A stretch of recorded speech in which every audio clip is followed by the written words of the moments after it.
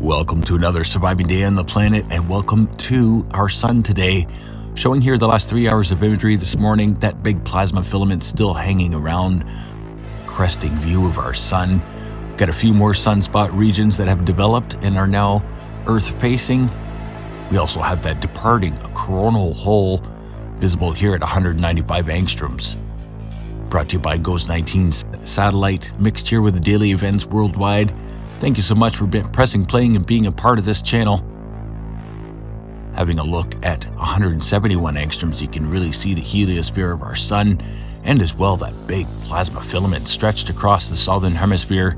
We're going to be keeping an eye on that over the next few days. Current space weather conditions, the solar winds are coming in at 423 kilometers per second right now, seeing a minor C-class flare this morning. And as well, here is the space weather spiral as we are expecting a small geomagnetic event tomorrow night into the 13th. LASCO 3 showing the last six hours of cosmic energies leaving our sun. Hope you all have a safe and healthy day.